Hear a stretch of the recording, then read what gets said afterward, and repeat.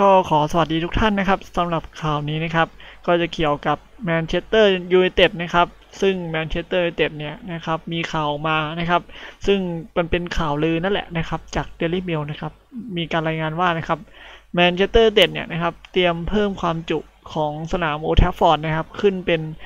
88,000 ที่นั่งนะครับ โดยแมนเชสเตอร์ยูไนเต็ดนะครับ เตรียมวางโปรเจกต์นะครับ เตรียมกางแผนขยายสนามนะครับ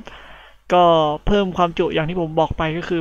88,000 ที่นั่งนะครับ โดยปัจจุบันเนี่ยนะครับสนามของแมนเชสเตอร์เต็ดนะครับมีความจุอยู่ที่ 75,500 ที่นั่งนะครับ แต่สโมสรเนี่ยก็เพิ่ง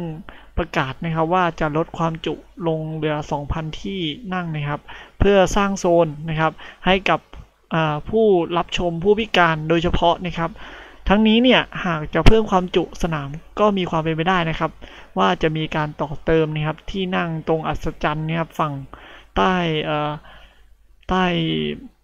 ป้ายเซอร์บ๊อบบี้ชาร์ลตันนะครับ ก็คือฝั่ง stand อะฝั่ง stand เซอร์บ๊อบบี้ชาร์ลตันน่าจะโดนแต่งเติมตรงนั้นด้วยนะครับ